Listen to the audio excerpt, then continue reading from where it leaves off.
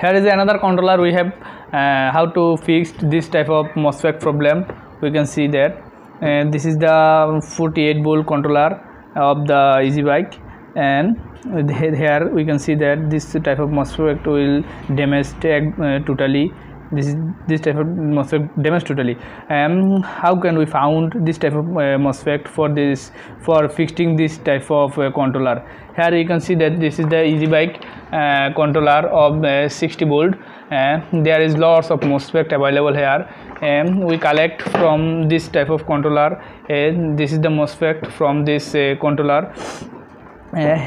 This terminal and this body is same uh, for this reason we don't attach this type of uh, terminal of this controller. At first we have to uh, we have to remove this this MOSFET by hot gun uh, by this hot gun heating uh, using this type of paste uh, then at first we have to solder here using the paste so after soldering here we removing this type of MOSFET and then uh, this type of terminal we need to use need not to use.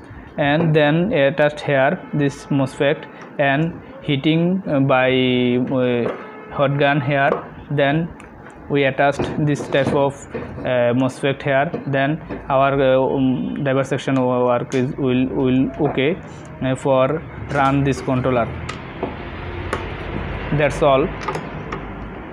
I hope you are uh, understand uh, how can we solve this problem after damaging this type of MOSFET that's all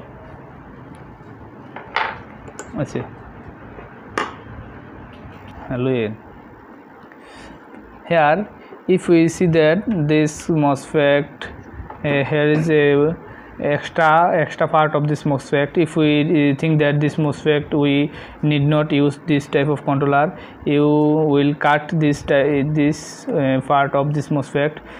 After cutting this uh, uh, part of MOSFET uh, this MOSFET will okay uh, it, is, it will not damage after cutting this type uh, this part of this MOSFET. After removing this part of this MOSFET then you can attach by uh, heating here then this this, uh, this MOSFET will working okay